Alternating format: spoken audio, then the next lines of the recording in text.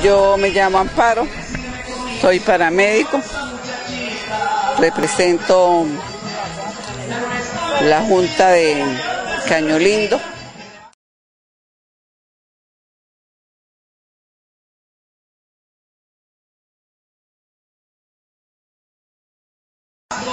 Estamos aquí en una acción humanitaria.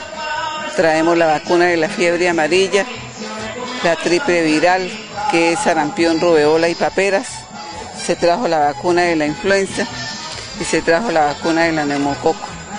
Y estamos aquí para colaborar en lo que se pueda.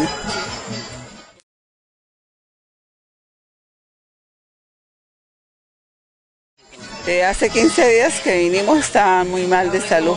La mayoría estaban presentando problema de renal. Habían personas con diarrea y problemas de piel.